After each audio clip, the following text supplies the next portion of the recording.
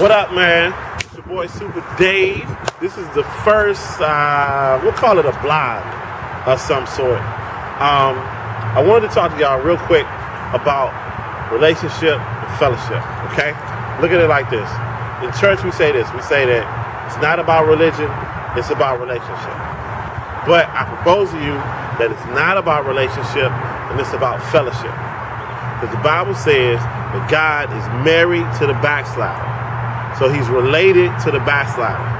I got plenty of relatives, and I know you got plenty of relatives who you never, ever talk to. And you got the relative that you call only when you need something because you know they caked up. But I really want to don't want to deal with the mouth that they're gonna give me. Just give me the bread that I need because I'm in a tight spot. And that's kind of how we do Jesus. We want to be related to him, but we don't want to be in fellowship with him. Paul said in Galatians chapter 3, verse 9 and 10, he said that we may know the power of his resurrection and the fellowship of his suffering. Real, true love is birthed through adversity. Don't know what you got till you hard times come. When everything's easy, when everything's nice, that's fine. But adversity is when real love is birthed. David and Bathsheba, you don't see their relationship turn into marriage until their son dies. You don't see real, real, you don't even see really the love of Christ for us until he dies on the cross. You don't see the love of God for mankind until Adam sins. It's just the way it is. Real love is birthed through adversity. So this real, real quick synopsis of relationship versus fellowship. I'm trying to come up with some more of these. Some of them will be silly. Some of them will be serious. Some of them will be uh.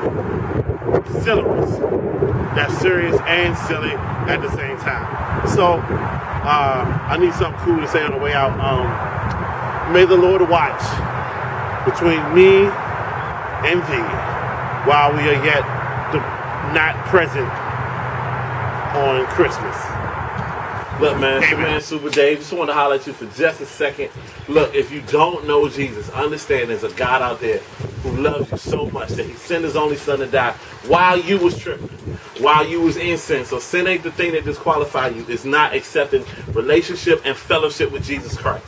Because if you if you accept fellowship with Jesus Christ, then he gonna deal with the sin. So don't tell me that you gotta go, you gotta get better and then come to church. Come dirty, come messed up, come jacked up, and God gonna move on your behalf. If you was in, if you was rocking with God and you decided to walk away, the word says this: that God was married, that God is married to the backslider. So don't worry about that. God still gonna pull you back by His love. His love is what's gonna grab you.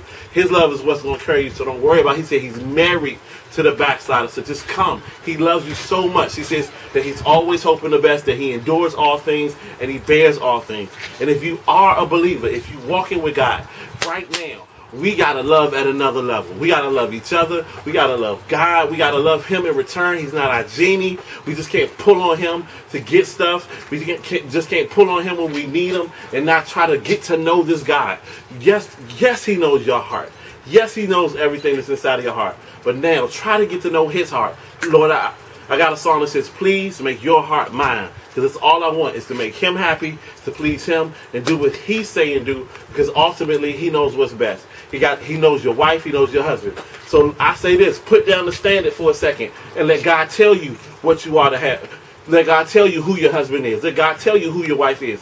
Put down the standard for just a second. I know you got, I know you got your way, and the, and the wife you think you should have, and the husband you think you should have, and she got it like this, and he got to have this much money. For just a second, though, trust God enough that He'll give you just what you need. All right. 25th. Never ever ever felt a love like this. Come here, let me feed you with the fruit from my lips. I love you so much for loving this misfit. If the glove misfits, then that means I'm free. Living in, not on ecstasy. The God of love becomes the God I love. It's God I love. Man, we so in love.